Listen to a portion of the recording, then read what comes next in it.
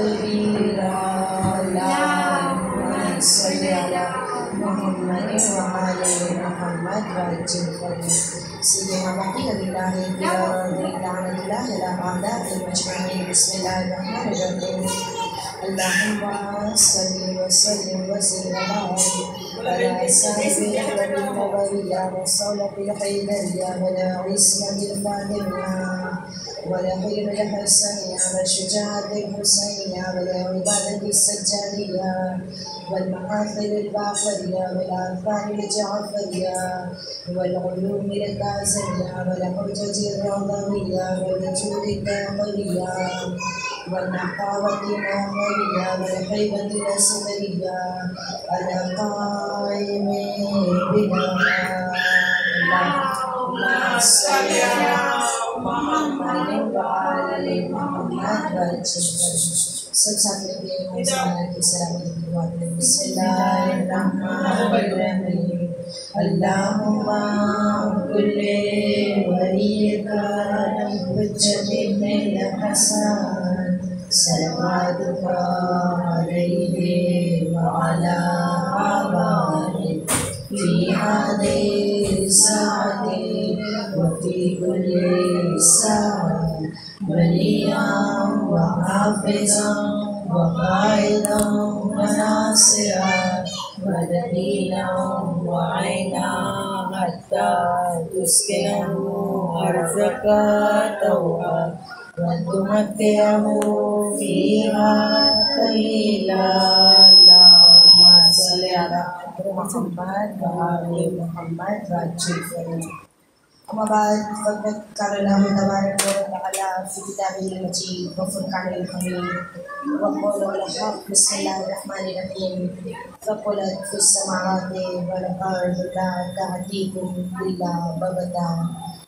हाजिरी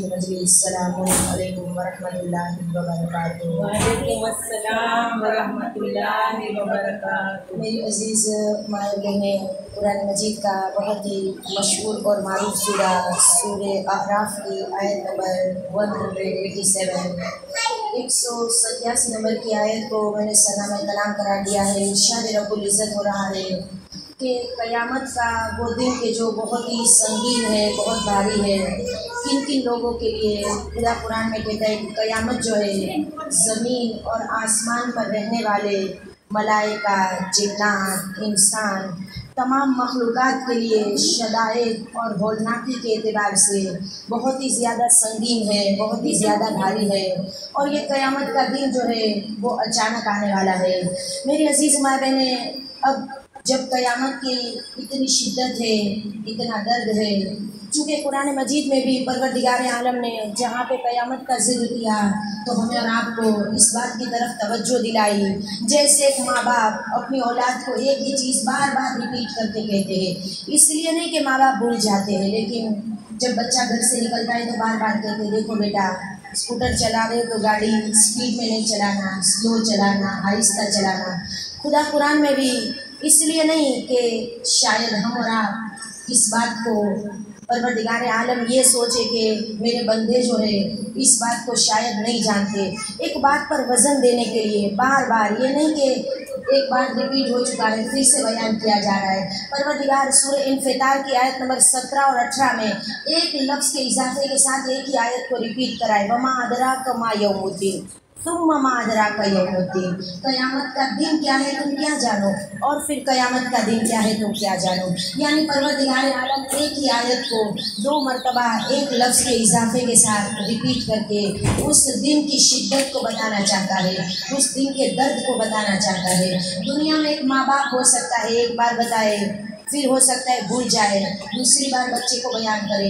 लेकिन यहाँ पे परवरदिगार आलम, जो खाली के शूर भी है, खाली के अक्ल भी है, इस बात को परवरदिगार आलम जानता है। मेरे बंदे को मैं एक मरतबा ये बात बता चुका हूँ। फिर इसके बावजूद इस आयत को रिपीट करके बात पर वज़न देने की साबित बात पर वज़न देने की कोशिश की जा रही है। मेरी अज़ीज़ माँ बहन अब सवाल यह है कि क़यामत की अगर इतनी ज़्यादा शिद्दत है कि सूर्य इंफितार की उन्नीस नंबर की आयत में खुदा ये कहता है कि यौम ला तमलिको नफ्सुल नफ्सिन शैआ बल अमनो यौम ये वो दिन होगा जब कोई नफ्स दूसरे नफ्स के बारे में कोई इख्तियार नहीं रखेगा। बल अमर यौम तमाम अम्र जो है, सिर्फ़ और सिर्फ़ खुदावंद आलम के इख्तियार में हो गए तो मेरी अज़ीज़ माँ बहने, वो क़यामत का दिन सबसे पहला सवाल ये है कि क़यामत कब आएगी? और अगर ये क़यामत आने के बारे में हमें पता चल जाए तो यकीनन उसी एतबार से हम तैयारी करेंगे। क्या कोई क़यामत से पहले रूनुमा होने वाली निशानियाँ हैं? तो मेरी अज़ीज़ मावे ने कल मैंने आपकी खिदमत में मौजू को वाज कर दिया था कि मौजू इन पहले हिस्से में, मजलिस के मैं बताऊँगी कि क़यामत से पहले वो कौन कौन सी निशानियाँ हैं जो ज़ाहिर होगी। और वो निशानियाँ रिवायतों के ज़रिए से जो हम तक पहुँची है। बिहार वॉल्यूम नंबर थर्टीन अल्लामा मजलिसी ने डिटेल के साथ क़यामत की निशानियाँ बयान की है। वो निशानियाँ जो क़यामत से पहले ज़ाहिर होगी, यानी कि क्रूज दज्जाल क्रूज सुफियानी, ज़बूर इमाम ज़माना दाबतुल अर्ज़ का ज़ाहिर होना और रजत में सलाम रोज़ाना हम एक एक निशानी पर गुफ्तु करेंगे और मजलिस के दूसरे हिस्से में इंशाल्लाह हम कोशिश करेंगे कि क़यामत के लिए हमें क्या तैयारी करनी चाहिए अब पहला सवाल यह है कि क़यामत कब आएगी ताकि उसी के हिसाब से हम तैयारी करें देखिए निशानियाँ तो इंशाल्लाह कल से हम शुरू करेंगे एक शख्स अमीरुल के पास आता है आने के बाद मौला से सवाल पूछता है कि मौला मैं चार सवाल लेके आया हूँ मौला कहते, सलूनी सलूनी, पूछ लो जो भी मुझसे पूछना है। चार तो क्या तो चार सौ सवाल भी मुझसे पूछ सकता है, चार हज़ार सवाल भी पूछ सकता है। वो कहते हैं, नहीं मौला, मैं चार सवाल लेके आया हूँ। सबसे पहला मेरा सवाल ये है कि आप मुझे ये बताइए कि वाजिब क्या है?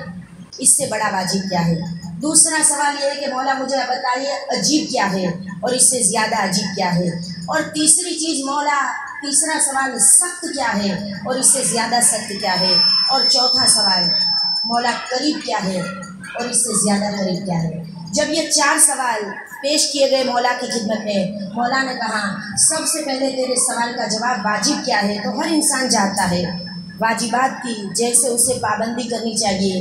नमाज़, रोज़ा, हज, ज़क़़त खम्स जहाद, जितनी भी चीज़ें वाजिब है, यानी फुरव दिन। हम सब जानते हैं कि फुरव दिन में जो जो चीज़ें वाजिब है, लेकिन इससे बड़ा वाजिब क्या है अज़ीज़? क्या हम जानते हैं? सिर्फ़ हम वाजिबात की पाबंदी पर बड़ी तवज्जो देते हैं। नमाज़, रोज़ा, हज, ज़क़़त। लेकिन इमाम कहते हैं कि बड़ा वाजिब ये है कि अल्लाह ने जो चीज़ें हराम की है, उससे इंसान दूर रहे। यानी अगर हम वाजिबात पर पूरी तवज्जो दें, लेकिन अगर हराम से बचने की कोशिश न करें तो क्या होगा? चटे इमाम कहते क़यामत के दिन कुछ ऐसे लोग आएँगे, पहाड़ के वज़न के बराबर नेकिया लेके आएँगे। नमाजें इतनी पढ़ी होगी, रोज़े इतने रखे होंगे, नाफेला पढ़ने वाले, नमाज़ शब पढ़ने वाले, हर चीज़ में इबादत बहुत ज़्यादा, लेकिन बड़े वाजिब से कभी इन्होंने बड़े वाजिब की तरफ़ तवज्जो नहीं दी, यानी हराम से अपने आप को नहीं बचाया।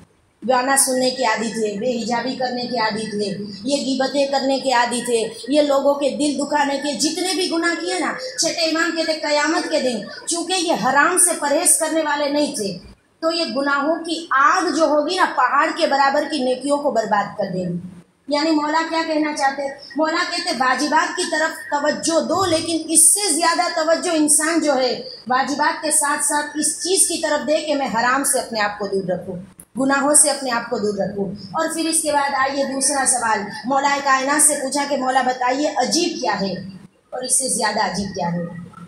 मौला ने कहा, अजीब दुनिया है। क्यों अजीब है? देखिए ये दुनिया इंसान जिसमें ज़िंदगी गुजारता है। लेकिन क्या इंसान को नहीं पता कि ये दुनिया, माफिया, सब कुछ छोड़ के इंसान को चले जाना है?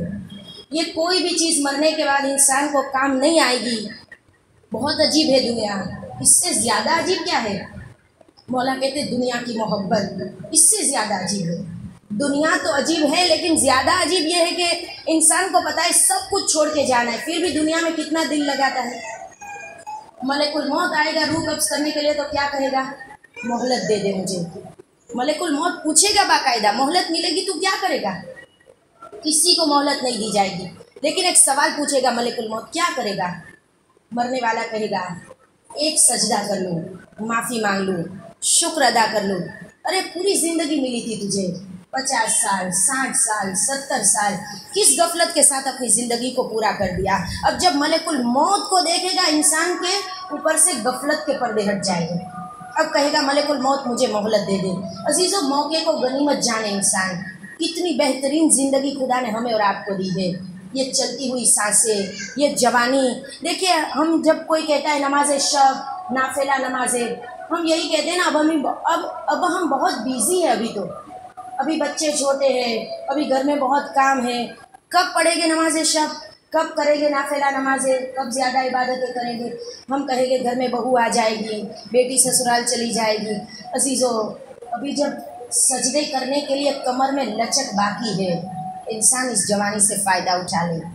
जब पता चले कि जवानी ख़त्म हो चुकी है, बुढ़ापे के सरहाने पर आप पहुँचे हैं। कब्र के किनारे आप खड़े हुए हैं।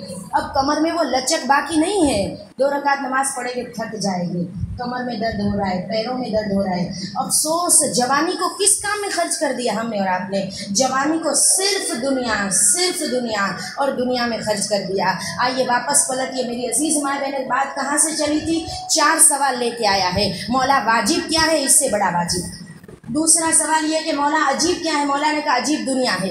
इससे ज़्यादा अजीब दुनिया की मोहब्बत है। और तीसरी चीज़ मौला बताइए, मुश्किल क्या है? और इससे ज़्यादा मुश्किल क्या है? इमाम कहते हैं, सबसे बड़ी मुश्किल है ना वो कब्र है। बहुत सख्त है कब्र अजीज़ो। जब कब्रस्तान फातिहा पढ़ने के लिए जाए ना, सिर्फ़ दो मिनट के लिए एक खोदी हुई कब्र के पास इंसान खड़ा रह के सोचे, ऐसी तारीख कब्र चार बालिश्त जगह में इंसान को लिटा दिया जाएगा। आज इतना बड़ा घर भी छोटा लगता है इंसान को। देखिए, बगैर आल औलाद के अकेले अगर कभी रहना पड़े, रात को लाइट चली जाए, इंसान की क्या हालत होती है? वो कब्र की चार दीवारी जब कब्र बंद कर दी जाएगी, इंसान की क्या हालत होगी? इमाम कहते कब्र बहुत मुश्किल है। मौला, इससे ज़्यादा मुश्किल क्या है? इससे ज़्यादा सख्त क्या है? इमाम कहते इससे ज़्यादा मुश्किल ये कि बगैर ज़्यादा राह लिए इंसान कब्र में चला जाए, यानी खाली हाथ जाए, कोई भी चीज़ लेके न जाए। जब तक दुनिया में जीता रहा, दुनिया के लिए कोशिश करता रहा, दुनिया के लिए अमल करता रहा। बहुत बड़ा घर होना चाहिए, बहुत बड़ा घर है तो साफ़ सुथरा होना चाहिए, हर चीज़ अच्छी होनी चाहिए, हर चीज़ में कपड़े प्रेस होने, प्रेस किए हुए होने चाहिए। हर चीज़ में इंसान बड़ी तवज्जो देता है, लेकिन अवकात नमाज़ की कोई पाबंदी नहीं करता है। उसे मुअज्जिन बार बार अल्लाह अकबर कह के बुलाता है। कहाँ उसके पास घर के कामों में से फुर्सत है कि वो जाके मुसल्ले पे नमाज़ पढ़े? इमाम यही कहते हैं ना, इससे बड़ा मुश्किल ये है कि इंसान बगैर ज़्यादा राह के कब्र में चला जाए। जब ज़्यादा राह की बात आएगी, सामान की बात आएगी तो सबसे पहला सवाल आएगा कि सामान कौन सा लेके जाए हम, जो कब्र में सबसे ज़्यादा काम आए? खुदा कुरान में कहता है सूर्य आल इमरान में फ़तज़विदु फ़इन खैर ज़ाद तकवा यानी ज़्यादा राह तैयार करो। सबसे बेहतरीन ज़्यादा राह कौन सा है? फ़इन खैर ज़ाद तकवा। सबसे बेहतरीन चीज़ जो तुम्हें कब्र में काम आएगी ना, वो तकवा है। फ़तकूनी या उलिल अलबाब। तकवा सब इख्तियार नहीं करते। सब खुदा का डर अपने दिल में नहीं रखते हैं। कुछ नमाजी ऐसे भी है जो नमाज़ भी पढ़ते, खुदा का डर नहीं रखते। कुछ ज़ायरीन ऐसे भी है जो ज़्यारत भी पढ़ते लेकिन खुदा का डर नहीं लगते। कुछ ऐसे भी लोग हैं जो बहुत ज़्यादा नाफिला नमाजें पढ़ते हैं, बहुत ज़्यादा इबादत की पाबंदी करते लेकिन खुदा का डर इनके दिल में नहीं है। मौला क्या कहते हैं? कि खुदा कुरान में इसी बात की तरफ़ इशारा कर रहा है कि फ़तज़विदु फ़इन खैर तकवा फ़तकूनी या उलिल तकवा इख्तियार करो अगर तुम साहिब अक्ल हो। अगर तुम्हारे पास अक्ल है ना तो तुम तकवा इख्तियार करोगे। आइए चौथा सवाल अमीरुल मोमिनीन से पूछा गया। मौला बताइए, करीब क्या है इससे ज़्यादा करीब क्या है? मौला ने कहा, करीब मौत है। कभी भी आ सकती है। ये लुकमा जो मुँह में डालते हैं ना, पता नहीं गले के नीचे उतरेगा या नहीं। एक पानी का घूट जो हम पानी पीते हैं ना, पता नहीं ये पानी का घूट गले से नीचे उतरेगा या नहीं। लेकिन इससे ज़्यादा करीब क्या है? मौलाना का इससे ज़्यादा करीब कयामत है। अब आप सोचिए। चौदह सौ साल पहले जिस अली ने ये कहा हो कि मौत करीब और कयामत इससे ज़्यादा करीब। तो आज चौदह सौ साल के बाद हम कयामत से कितने करीब आ चुके हैं? आज तो कयामत से और ज़्यादा करीब। और इन कल से जो मैं निशानियाँ शुरू करूँगी, सबसे पहली निशानी खुरूज दज्जाल। दज्जाल कब खुरूज करेगा? खुरूज सुफियानी। फिर इसके बाद जहूर इमाम ज़माना, दाबतुल अर्ज़ का ज़ाहिर होना और रज अत मासूमिन आप इन तमाम निशानियों में देखेंगे कि किस तरह से कयामत से पहले की ये तमाम निशानियाँ पूरी हो चुकी है। और इंशाल्लाह ये भी हम देखेंगे कि आया हमें निशानियों का इंतज़ार करना है या उस दिन के लिए तैयारी करनी है। देखिए, इसीलिए मजलिस का पहला हिस्सा है कयामत कब आएगी। चूँकि जिस दिन के लिए तैयारी करनी होती है ना, पहला सवाल ये होता है, वो कब है? घर में मजलिस है तो हम पूछेंगे कब है? अगर किसी, कोई हमें इनवाइट करेगा, हमारे घर मजलिस में आना हम पूछेंगे कब है? क्यों? इसलिए कि टाइम पता चले तो हम इसी हिसाब से तैयारी कर सके। खुदा न करे, खुदा न करे, कोई ऐसा हादसा, जलजला आने वाला है, या इसी तरह से कोई और ऐसी हादसा पेश आने वाले हम पूछेंगे कब? यानी पहला मजलिस का सवाल है कि क़यामत कब आएगी? क़यामत से पहले आने वाली निशानियाँ। और मजलिस का दूसरा हिस्सा, क़यामत के लिए तैयारी कैसे करें? सूर्य नबा की आयत नंबर अट्ठारह यौम फ़ो फिसूर फ़तून अफ़ाजा जब सूर फका जाएगा, ये लोग कब्रों से गिरो दर गिरो निकलेंगे। जब सूर फूका जाएगा तो कैसे निकलेंगे? गिरो दर गिरो। ये गिरो कौन से होंगे? तो छठे इमाम ने इस सवाल का जवाब दिया रावी से। और रावी भी ऐसा साफ़, शफाफ और पाक बातिन वाला था। देखिए, दिल इतना इसका साफ़ था। कि जैसे आप नजुल बलागर खुद हमाम देख लीजिए। अमीरुल मोमिनीन से जब हमाम नामे, हमाम नाम के मौला के सहाबी ने पूछा था ना, मौला सिफातुल मुत्तकीन बताइए, मुत्तकी किसे कहते इमाम ने कहा था, हमाम तुम बर्दाश्त नहीं कर पाओगे। उसने कहा, मौला फिर भी बताइए, फिर क्या हुआ? इमाम जैसे जैसे निशानी बताते जाते थे ना, आखिर में क्या हुआ? जैसे अभी खुदमा तमाम नहीं हुआ, हमाम के जिस्म से रूह निकल गई। देखिए, पाक और पाकिजा इतना साफ़ दिल था आईने की तरह से साफ़, कि हमाम बर्दाश्त नहीं कर पाए, मौला जानते थे। और इस सिफत को खुदा कितनी ज़्यादा पसंद करता है। सूर्य नहल की आयत नंबर थर्टी एट सोलह नंबर का सूरा। आप खोल के देख लीजिए, खुदा कहता है, बिस्मिल्लाहिर्रहमानिर्रहीम तय्यबीन यक़ुलून सलामुन अलैकुम उदखुलुल जन्नता बिमा कुंतुम तामलून एक ही लोगों की कैटेगरी ऐसी है कि जिनकी रूह कब्ज करने के लिए जब मलकुल मौत आएगा ना, उन्हें डायरेक्ट जन्नत की बशारत देगा। मरने के बाद डायरेक्ट जन्नत किसी के लिए नहीं है, लेकिन एक कैटेगरी के लोगों के लिए। और वो कौन से लोग हैं? तय्यबीन पाक और पाकिजा लोग, कि जिनके लिए खुदा ने कहा बरजकी जन्नत में चले जाओ। फरिश्ते कहेंगे, यकुलून सलामुन अलैकुम। तुम्हारे ऊपर सलामती हो। उद खुलुल जन्नत बेमा तुम तामलून तुम जन्नत में चले जाओ, वो अमल जो तुम करते आ रहे हो। आइए आयत की डिटेल में जाने का वक्त नहीं है तफसीर में जाने का मौका नहीं है। क़यामत के दिन के लिए तैयारी कैसे करें? छठे इमाम का वो सहाबी, जिसने सवाल पूछा ना, उसका दिल जो है बहुत साफ़ था। बहुत पाक और पाकिजा था, साफ़ और शफाफ था, आईने की तरह से साफ़। इमाम ने कहा, वो नौ किस्म के लोग हैं। मैदान मैशर में आएँगे तो नौ गिरोह में इन्हें तकसीम किया जाएगा। अभी इमाम ने आठ तक बयान किया और सिर्फ़ अजाब बताया और सुनने वाला बर्दाश्त नहीं कर पाया। बेहोश होकर गिर पड़ा। जब होश में आया ना तो कहता है, बस मौला, अब मुझमें सुनने किताब नहीं है। सिर्फ़ आठ कैटेगरी जो आपने बताई है ना, आठ किस्म के लोग उसी को मुझे बता दिए। कि उसी के लिए मुझे बता दीजिए कि इनको अजाब किस वजह से किया जाएगा। आइए सबसे पहले कैटेगरी। रोज़ाना हम एक एक किस्म के लोगों पर जो गिरो कब्रों से उठाए जाएँगे, उनकी बारे में हम बात करेंगे।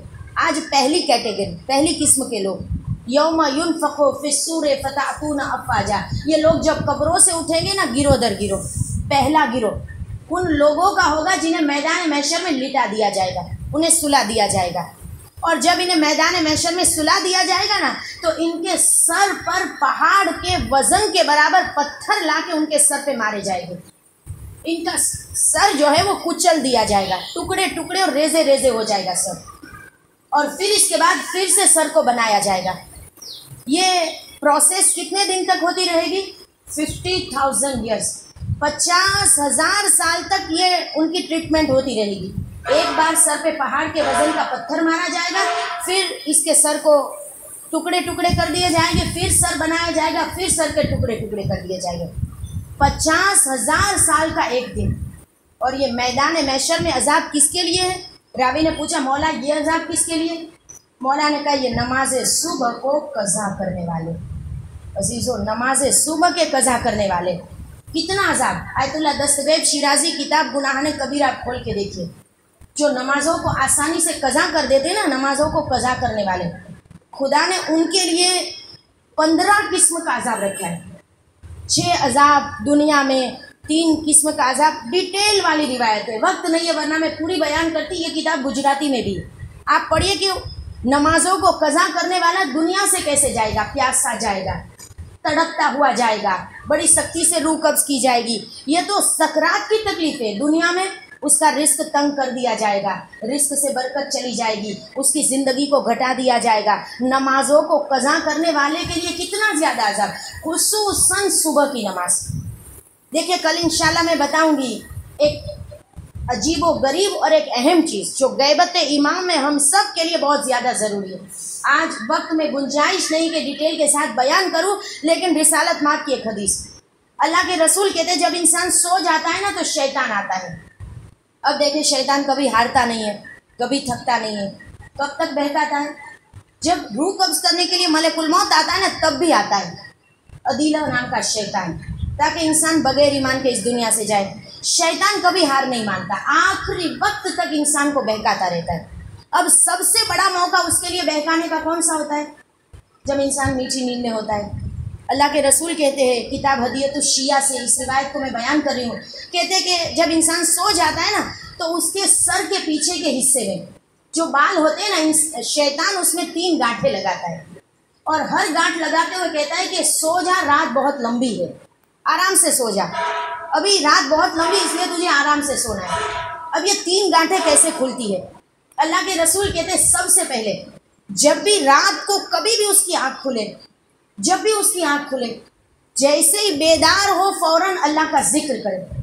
अगर ये अल्लाह का ज़िक्र करे, अल्हम्दुलिल्लाह पढ़े सुबहान अल्लाह पढ़े, कोई भी ज़िक्र, ला इल्लल्लाह औज़ुबिल्लाहिमिनश्शैतानिर रजीम, ला हौल वला कुव्वता, कोई भी ज़िक्र करे, जब ये ज़िक्र करेगा तो एक गांठ खुल जाएगी। जब दूसरी गांठ कब खुलेगी? जब ये बेदार होगा, अल्लाह का ज़िक्र करेगा, फिर उठ के जब ये वज़ू करेगा तो दूसरी गांठ खुल जाएगी। और जैसे ये नमाज़ के लिए मुसल्ले पर आएगा ना, तीसरी गांठ जब ये नमाज़ के लिए उठेगा और मुसल्ले पर आएगा, फ़ौरन खुल जाएगी। पहली गांठ खुलती है ज़िक्र करने से, दूसरी गांठ खुलती है वज़ू करने से। इसीलिए कहा गया कि रात को सोने से पहले वज़ू करके सोया करो। कितनी ताकीद की है? बिस्तर जो है वो मस्जिद की तरह से इंसान के लिए इबादत गाह बन जाती है। पूरी रात इबादत का सवाल। हत्या कि एक डिटेल वाली रिवायत। पहले इस रिवायत को मैं कंप्लीट करूँ कि अल्लाह के रसूल कहते जब ये तीन गांठें खुल जाती इंसान सुबह की नमाज़ अव्वल वक्त पढ़ लेता है ना तो फ्रेश होके उठता है, बहुत ताज़ा दम होके उठता है। पूरे दिन के काम वो बड़े आसानी से और अच्छे तरीके से कर सकता है। लेकिन अगर न ज़िक्र करे खुदा का, न वज़ू करे, न नमाज़ के लिए बेदार हो, फिर पूरा दिन इसका इसका सुस्ती के साथ गुजरता है। पूरा दिन इसे सुस्ती महसूस होती है, इसे किसी कामों में दिल नहीं लगता है, इसलिए कि दिन की शुरुआत ही इसने अपनी नमाज़ को कज़ा करके किया है। अपनी सुबह की नमाज़ को इसने कज़ा कर दिया। छठे इमाम एक डिटेल वाली रिवायत, देखिए वक्त नहीं है, बिल्कुल मुख्तसर करके। छठे इमाम कहते जब इंसान सो जाता है ना तो रूह जो है वो अर्श की बुलंदियों पर जाती है। खुदा से मुलाकात के लिए। अगर ये बावजू होता है, अगर ये बावजू होता है और अगर उसकी मौत का वक्त आ जाता है तो फरिश्ते उसकी रूह को आलियन में, यानी अल्लाह के मुकर्रब बंदों में इसकी रूह को शामिल कर देता है खुदा। क्योंकि देखे, कुछ लोग ऐसे होते हैं, रात को सोते, सुबह को उठ नहीं सकते। नींद मौत की बहन है। पता नहीं इस नींद से हम उठ पाएँगे या नहीं। छठे इमाम कहते कोशिश करो, रात को सोने से पहले वज़ू करके। ये तो बहुत डिटेल वाली रिवायत है। आइए एक दूसरी रिवायत, कि रात को ज़्यादा देर सोने वाला। कितना बड़ा उसको नुकसान करता है वो इंसान, अपनी ज़ात को। कहते हज़रत सुलेमान बिन दाऊद की माँ। अपने बेटे सुलेमान को ये नसीहत करती है, कि ए बेटा सुलेमान, मैं तुम्हें नसीहत करती हूँ। कि रात को ज़्यादा न सोया करो। इसलिए कि जो रात को बहुत ज़्यादा सोता है, क़यामत के दिन वो फ़कीर होकर उठाया जाएगा। यानी रात का एक हिस्सा इंसान मखसूस करे, नमाज़ शब के लिए, नमाज़ सुबह के लिए, उस इबादत के लिए कि जिस इबादत के ज़रिए से इंसान वो कम, वक्त कम होता है, लेकिन फ़ायदे उसके बहुत ज़्यादा है। आइए मेरी अज़ीज़ माए बहनें मैशर के दिन की सख्ती से बचने के लिए आकाए दस्तगैब शीराजी ने अपनी किताब में, इसी के साथ साथ शेख अब्बास कुमी किताब मनाजिल आखिरा, सफ़ा नंबर 94 पे। इसके दस अमल बताए हैं। जिसमें से रोज़ाना मैं एक एक अमल आपकी खिदमत में बयान करूँगी। शेख अब्बास कुमी लिखते हैं कि पाँचवें इमाम की रिवायत है कि अगर कोई अपनी वाजिब या नाफिला नमाजों में सूर्य दुखान की तिलावत करे, और भी सूर्य दुखान के बहुत फ़ायदे हैं। कभी इंशाल्लाह आप पढ़ लीजिए, कुरान में देख लीजिए जहाँ पे कुरान के सूरा जहाँ पे लिखा गया है, उससे पहले उसके फ़जाइल बयान किए गए। बहुत ज़्यादा फ़जाइल है। आज वक्त नहीं कि इसकी डिटेल में जाए। लेकिन पाँचवें इमाम कहते, अगर कोई अपनी वाजिब या नाफिला नमाजों में सूर्य दुखान की तिलावत करेगा, परवरदिगार आलम उसके लिए क़यामत की सख्ती को आसान कर देगा। और ये वो क़यामत का दिन है कि जिसको याद करके हमारा और आपका चौथा ईमान कल मैंने कहा था ना अमीरुलमोमिनीन मस्जिद कोफा के महराब में तड़प तड़प के रो रहे अजीज़ो, सिर्फ़ पहले इमाम अली नहीं रो रहे हैं। मौलाई या मौलाई वाली मुनाजात पढ़ के, बल्कि हमारे और के चौथे इमाम। ऐसे भी बाद वाक़ करबला, चौथे इमाम के चेहरे पर किसी ने मुस्कुराहट नहीं देखी। अलावा एक मुस्कुराहट जो नौ रबी अव्वल के दिन आई थी। इसके अलावा किसी ने इमाम को मुस्कुराते हुए नहीं देखा। नौ रबी अव्वल की एक मुस्कुराहट, जिसके बदले में हम ईद जहरा मनाते हैं। मेरी अज़ीज़ माँ बहनें, असल में तो ये रिवायत, जब आठ रबी अव्वल का दिन होता है, उस दिन आप सुनेंगे कि हम और आप तो दो महीना, आठ दिन के बाद शोक बढ़ाते ना? इन बीवियों ने कब शोक बढ़ाया? सन इकसठ हिजरी भरा हुआ फातिमा का घर उजड़ गया। सन चौंसठ हिजरी, सिक्सटी फोर हिजरा, यजीद जहन्नमवासी हुआ। अज़ीज़, आप सोचिए। इकसठ से लेके चौंसठ हिजरी तक किसी बीबी ने अपने सर में तेल नहीं डाला। किसी बीबी के घर में चूल्हा नहीं जलाया गया। बनु हाशिम के मोहल्ले से किसी ने उठता हुआ धुआँ नहीं देखा है। बीबियाँ खाती थी क्या पेट भरने के लिए? कहते, अनाज को सेक लेती थी। उस अनाज से पेट को भर लेती थी। किसी ने काला लिबास तब्दील नहीं किया। अजीज़ों, मैं एक सवाल पूछूँ आपसे, जिसके घर में एक मैयत होती है ना, सालों तक अपने घर वालों को वो नहीं भूल पाते। फातिमा का भरा हुआ घर दोपहर में उजड़ गया, और क्यों ना रोए सज्जाद? मेरा और आपका चौथा इमाम कैसे रो रहा है? हाय अशाम अशाम अशाम और रोने वाली माए बहनें। खुदा रहमत नाजिल करे जनाब मुख्तार के ऊपर। कातिला ने करबला से ऐसा बदला लिया कि चौथे इमाम की खिदमत में जब सर भेजा गया है ना, चौथे इमाम के चेहरे पर मुस्कुराहट आई। और जैसे ही ये सर चौथे इमाम की खिदमत में आए ना, सबसे पहले मेरे चौथे इमाम अपनी अम्मा रबाब के पास पहुँचे। जाने के बाद कहा था, अम्मा रबाब अब तो हुरमला का भी सर आ गया है। अम्मा रबाब साय में आ जाइए, क्योंकि एक माँ का तड़पना सज्जाद से नहीं देखा जाता। मिनहाल ने जब आके कहा था ना, मौला कूफे में आपके चाहने वाले मुख्तार ने हुकूमत कायम की है। इमाम पूछते, मिनहाल क्या हुरमला पकड़ा गया? मुझे कहीं पे ये नहीं मिला कि इमाम ने पूछा हो कि, मिनहाल मेरे चचा अब्बास का कातिल मिल गया? मिनहाल क्या मेरे बाबा का कातिल मिल गया? मिनहाल क्या अली अकबर के सीने में बर्छी मारने वाला मिल गया? जब भी पूछा, ना कहा, मिनहाल क्या हुरमला पकड़ा गया है? रोने वाली माए बहने, हुरमला को क्यों इमाम इतना याद कर रहे इसलिए कि हुरमला ने एक माँ को इतना तड़पाया है। हाय, रबाब के दिल को जख्मी कर दिया है। और जब से गोद उजड़ी है ना, रबाब मदीने वापस आई है तो साय में नहीं जाती है। अजीज़ों, तपती हुई धूप में बैठी रहती है। चाहे मदीने में तेज बारिश हो, चाहे मदीने में तपती हुई धूप हो, चाहे कितनी ही ठंडी का समाना हो, तपती हुई धूप में आसमान के नीचे बैठी रहती है और करबला का रुख करके कहती हाय मेरे वाली हो बारिश आपका लाशा तो तपती हुई धूप में पड़ा रहा, रबाब साय में न जाएगी, जब तक ज़िंदा रहेगी, इसी धूप में बैठी रहेगी आसमान के नीचे। रोने वाली माए बहने, जब हुरमला का कटा हुआ सर आया ना, मेरे चौथे इमाम ने आके कहा था, अम्मा, अब तो हुरमला का भी सर आ गया। तो क्या कहा था रबाब ने? मेरा असगर तो वापस नहीं आने वाला। हुरमला कत्ल कर दिया गया। हुरमला वासी के जहन्नम हुआ। मेरा असगर तो वापस नहीं आने वाला। रोने वाली माए बहने, यही हुरमला खुदा लानत करे इस मलून के ऊपर। जब मुख्तार के दरबार में बुलाया गया है ना, जनाबे मुख्तार ने पूछा हुरमला बता तूने करबला में क्या किया? हुरमला कहता है, मुख्तार, मैंने तीन भाल के सिर्फ़ तीन तीर चलाए। लेकिन माओ का मजमा है। तीन माओ के जिगर को जख्मी कर दिया है हुरमला ने।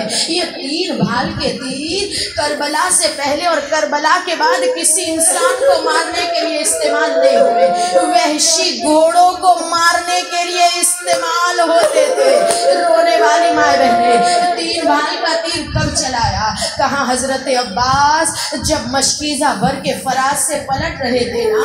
तो पूरी फौज हैरत में है। अब्बास का जिस्म जख्मी है। बाजू कलम हो चुके हैं। लेकिन गाजी रुकने का नाम नहीं लेते हैं। और फौज हैरत में है। उमर साद कहते हैं, पानी प्यासों तक नहीं पहुँचना चाहिए, वरना जीत नामुमकिन हो जाएगी। हाँ पानी प्यासों तक नहीं पहुँचना चाहिए। लेकिन अब्बास को कौन रोके?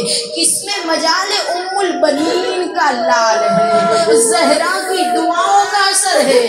ये अली की तमन्नाओं का असर है? कौन रोक सकता है? अब्बास को हुरमला कहते हैं, मैं मैदान में पहुँचा। मैंने मैदान का जायजा लिया। मैंने कहा, ऐ सिपाहियों, अब्बास की जान उसके जिस्म में नहीं है। अब्बास की जान मश्क सकीना में है। अजीजों, इसीलिए आज भी मश्क अलम से लिपटी हुई कहती है। सकीना, मेरी जान तो तेरे मशकीजे में है। तीन भाल का तीर चला। हज़रत अब्बास की आँखों में पैवस्त हुआ, लेकिन मशकीजे को छेदता हुआ।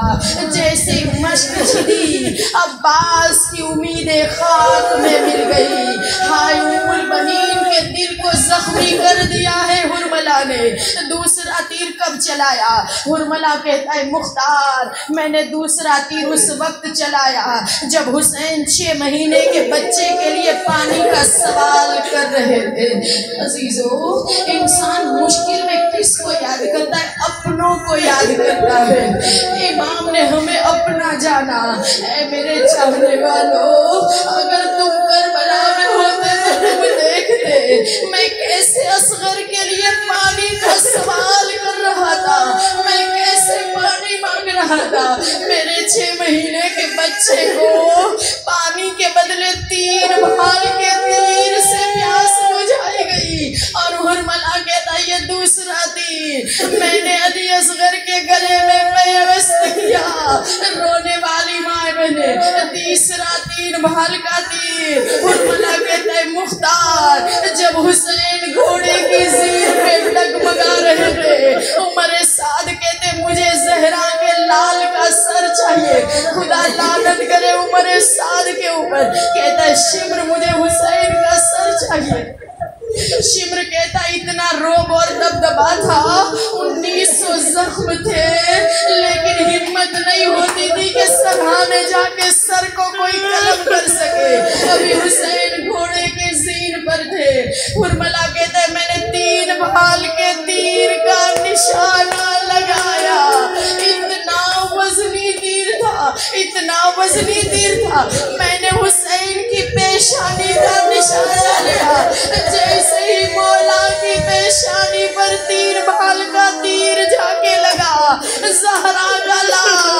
घोड़े की सीर में टगमगाने लगा।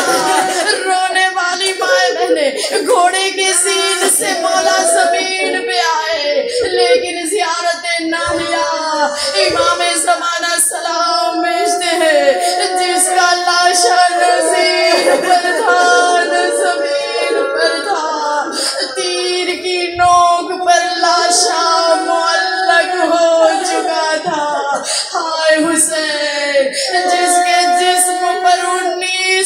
जख्म थे किसी ने तीर मारे, किसी ने तलवार मारे। हाय गरीब जहरा, किसी ने पत्थर मारे, जिसके हाथ में न तीर थे, न तलवार थे, न पत्थर थे। वो खाके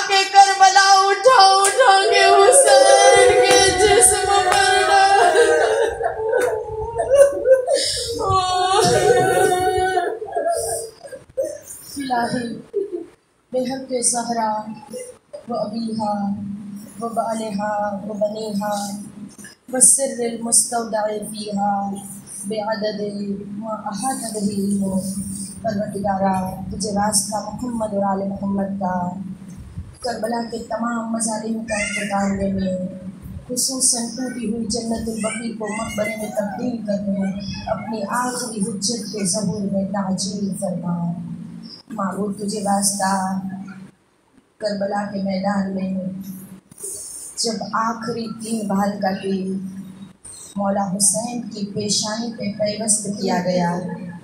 अज़ीज़ माओ का मजमा है। एक माँ अट्ठाईस रजब से बकी को छोड़ के चली है। हाय मेरा हुसैन, मेरा परदेसी हुसैन, मेरा प्यासा हुसैन गरीबुल वतन हुसैन। रोने वाली माए बहने, दो मुहर्रम काफिला वारिद करबला हुआ। खेमे के पीछे से जैनब ने किसी बीबी के रोने की आवाज़ सुनी। मेरे मौला ने कहा, बहन, जैनब, ये हमारी माँ जहरा है, जो हमारी गुर्बत पे रो रही है। अज़ीज़ अजीज़ो, जो माँ आई है अपने बेटे के लिए, जब घोड़े के जीन से ज़मीन पे गिरने का वक्त आया होगा ना बीबी ने दामन को फैला दिया होगा सुलझना जरा आहिस्ता मेरे बच्चे को ज़मीन पे रखना बड़े नाजों का पला है। मेरा हुसैन मैंने चकिया पीस के पाला है। मेरा हुसैन बहुत प्यासा है। जुलझना मेरा बच्चा तीन दिन का भूखा प्यासा है। बचपने में जब ये प्यासा होता था ना, मुझसे इसकी प्यास बर्दाश्त नहीं होती थी। ऐ जुलझना जरा आहिस्ता, मेरी पसलियाँ टूट गई थी, लेकिन आधी रात को पानी का जाम लेके हुसैन के सरहाने खड़ी रहती थी। मेरा बच्चा प्यासा न रह जाए। जुलझना मेरा बच्चा जख्मी है। जरा आहिस्ता ज़मीन पे उतारना। रोने वाली माए दुआ कबूल होने का मौका है। जितनी माए प्यार के बेटी है, उस माँ के तड़पने का वास्ता है।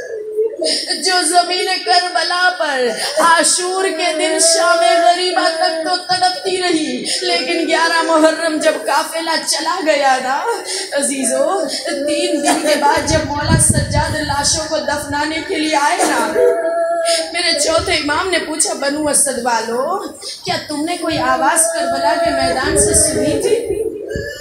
बनु असद वाले कहते हाँ मौला, जब आधी रात होती थी ना, एक ज़ईफ़ा आए हुसैन आए हुसैन कह के रोती थी, हाय रसूल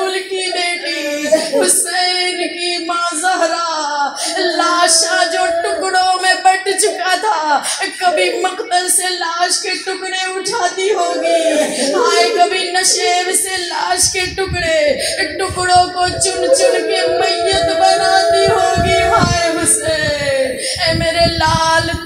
तू प्यासा जबा कर दिया गया। मेरे लाल, तू नाजों का बला था। माबूद, तुझे वास्ता उस मौला की गुर्बत का। जितनी माँ इस फर्श अजा पे आके बैठी है, अपने बच्चों के लिए दुआएँ मांग रही है। हर माओ की औलाद के में दुआओं को मुस्तजाब फरमा। मबूद, तुझे वास्ता मोहम्मद और आल मोहम्मद का परवरदिगार हाजरीन मजलिस खसूस बान मजलिस, इनकी हर एक दिली जायज़ तमन्नाओं को पूरा फरमा। मबूद, तुझे वास्ता मोहम्मद और आल मोहम्मद का कोरोना की इस वबा को निस्त नाबूद फरमा। मबूद, बेहद के बीमार मदीना, बेहद के बीमार करबला, जो जो बीमार है खसूस जिन बीमारों की इल्तमास है, तमाम बीमारों को शफाए कामिला और आजिला इनायत फरमा। मोहम्मद और आले मोहम्मद के सदक़े में। महबूब जो जो परेशान, हाल इस बज़म अज़ा में आके बैठे रहे परवरदिगार, इस फर्श अज़ा से उठने से पहले हमारी तमाम परेशानियों को तू दूर फरमा मोहम्मद और आले मोहम्मद के सदक़े में तमाम मरहूमिन की मगफरत फरमा उन्हें जवार मासूमिन में जगह इनायत फरमा रबना तकबल इन्नका अंतस समीउल अलीम।